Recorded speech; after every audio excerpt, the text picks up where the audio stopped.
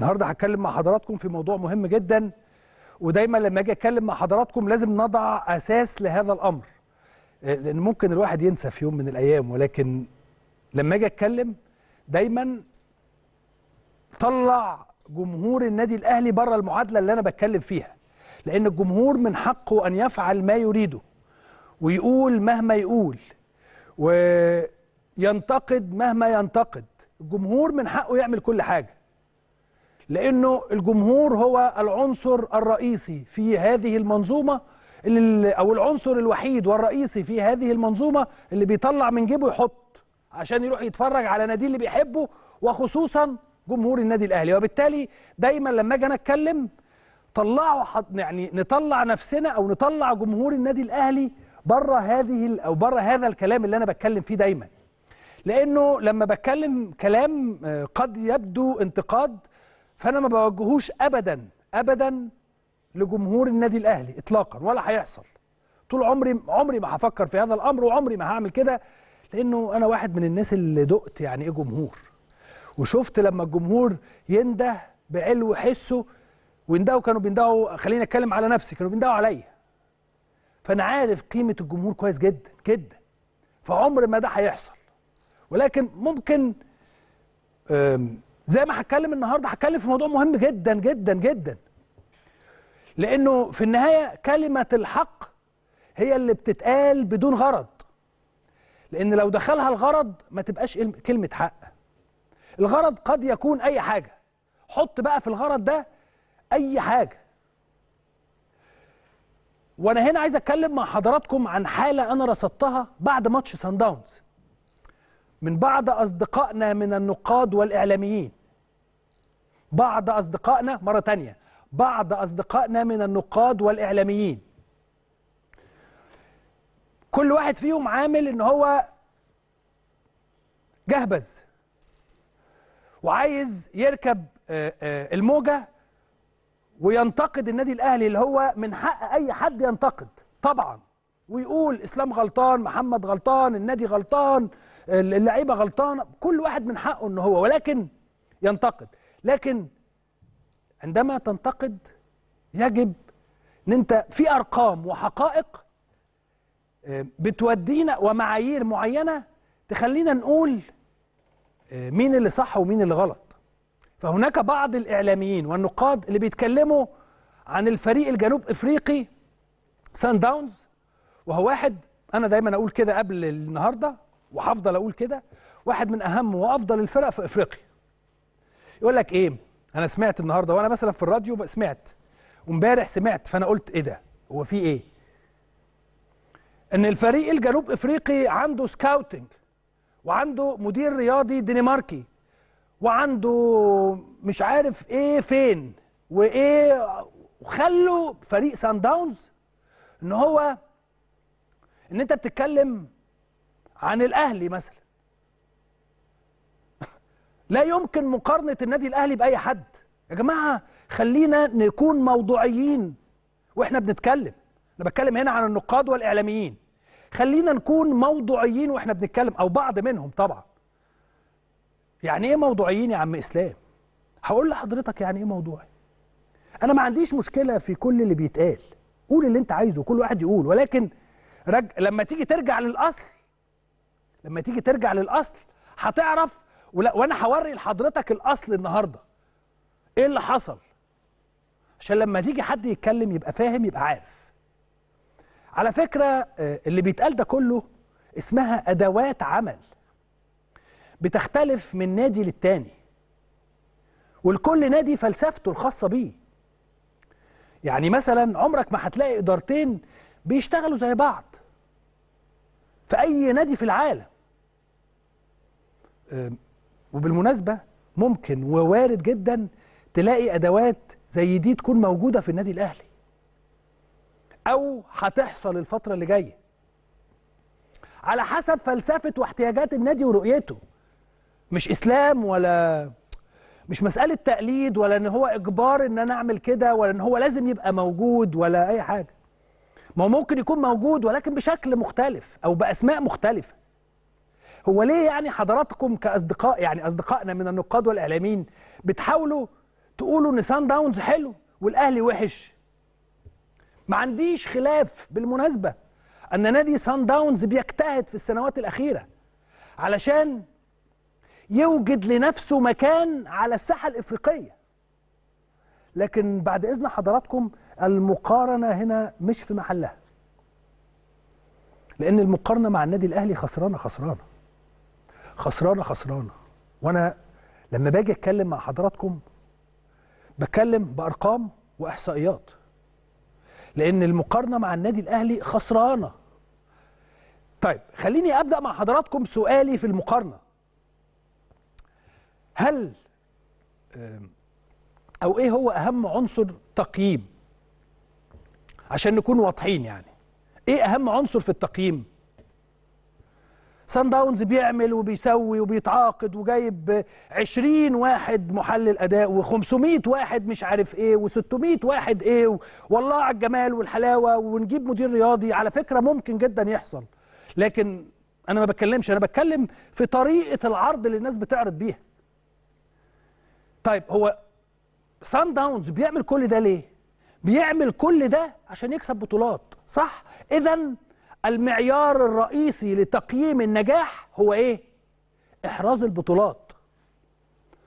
طيب بما إننا بنتكلم عن أصل الناس كلها تقول لك سان داونز ممكن حضرتك تقول إيه؟ إن الأهلي وحش في هذه المباراة أو سيء واللعيبة وحشة جدا والمدير الفني وحش جدا أتقبل ده؟ ما عنديش مشكلة. لكن تقول إن سان داونز أفضل من النادي الأهلي في الفترة الأخيرة؟ فنيا أتكلم مع حضرتك وأقول أنا هقول رأيي وحضرتك هتقول رأيك بعض أصدقائنا من النقاد والإعلاميين يعني. تقولوا رأيكم وأنا أقول رأيي ونتجادل في هذا الأمر من الناحية الفنية. لكن خليني أتكلم مع حضرتك بأهم شيء يخليني أسكت ويخلي حضرتك تسكت برضه. خليني أتكلم مع حضرتك في آخر خمس سنين ولا أقول لك عشر سنين. هو النادي الأهلي وصل نهائي دوري أبطال إفريقيا بالطريقة القديمة اللي, اللي الناس بيعتقد البعض إن هي طريقة قديمة. اللي البعض من النقاد والإعلاميين بيعتقد إن هي طريقة قديمة. هي مش طريقة قديمة بالمناسبة إحنا دائما داخل النادي الأهلي عندنا تطوير. كل سنة بيحصل حاجة والسنة الجاية هيحصل والسنة اللي بعدها هيحصل والسنة اللي بعد اللي بعدها هيحصل. النادي الأهلي وصل في آخر عشر سنين. كم مرة نهائي دوري الأبطال؟ من 2013 لغاية 2003 لغاية 2023 لغاية السنة دي. ها؟ ممكن حد يقول لي من ال- الجه... اصدقائنا من الإعلاميين والنقاد يقولوا لي؟ أنا هنا ما بتريقش. ست مرات. النادي الأهلي وصل نهائي إفريقيا في آخر عشر سنين ست مرات. بنسبة 60 65 70% لم تحدث في تاريخ الأندية في العالم أو في أفريقيا. خلينا أتكلم عن أفريقيا لأن ده اللي أنا درسته أو شفته يعني. طيب وصل للنهائي ثلاث مرات صح؟ كسبنا منهم كم مرة؟ ثلاث مرات. كسبنا ثلاثة وخسرنا ثلاثة. كسبنا 2013 و2020 و2021 واتخطفت مني 22 السيناريو مش هرجع أتكلم فيه لكن هو ده.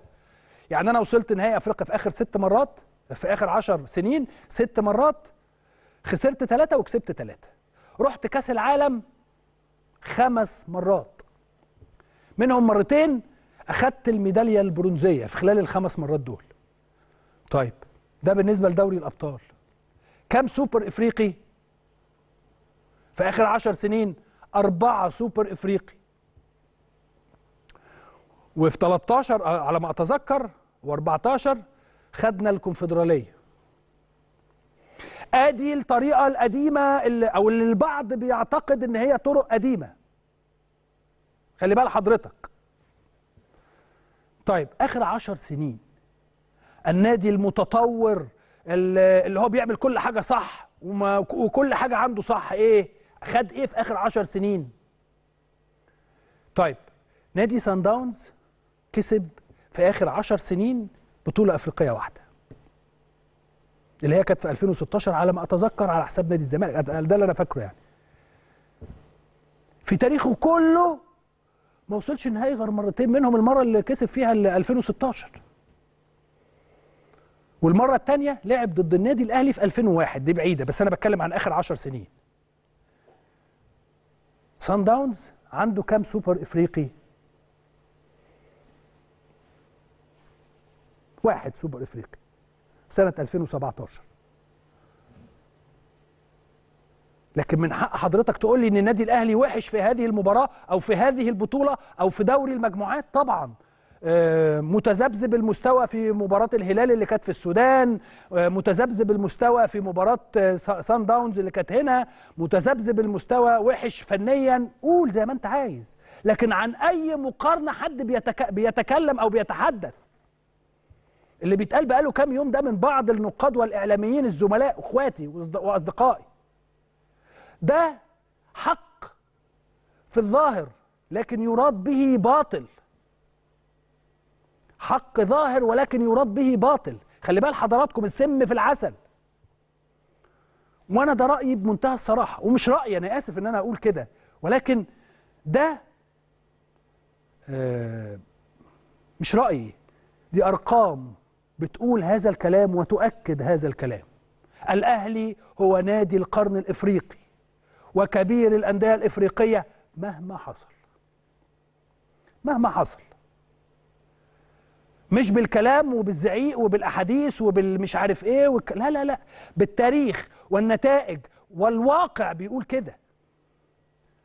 في أخطاء أنا لا أبرر أي شيء ولا هستطيع إن أنا أبرر أي شيء لأنه هو في حد يبرر هزيمة زي دي؟ لا يمكن إن أنا أبرر.